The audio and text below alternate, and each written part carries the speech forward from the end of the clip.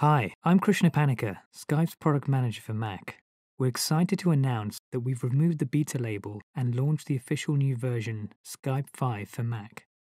I'd like to say thank you to all of you who sent us feedback on the beta. And I'm going to talk you through some of the improvements we've made in the latest version.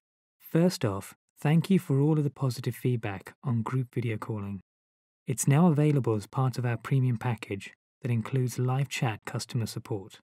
You can try it out for the first time with a 7 day free trial and then purchase either a day pass or a monthly subscription from there.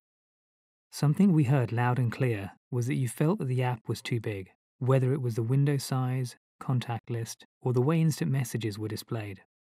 The good news is that we've slimmed things down in the new version.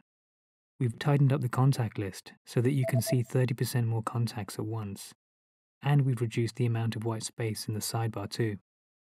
We've also reduced the minimum window size so that those of you who prefer to keep Skype to one side of your screen, for example, can do that more easily.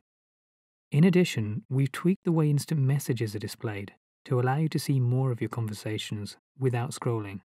Most of you will know that you can use Skype to make calls to landlines and mobiles, but some of you have said that it was difficult to find the dial pad. In this version, we moved it up to the toolbar to make it easy to find. You'll be happy to know that we've brought back full screen mode in video calls. When you're in a call, click the button to switch to full screen mode and click it again to return the call to the Skype window. It's also easier to chat while you're on a call. Just click the button to reveal the chat panel and click it again to hide.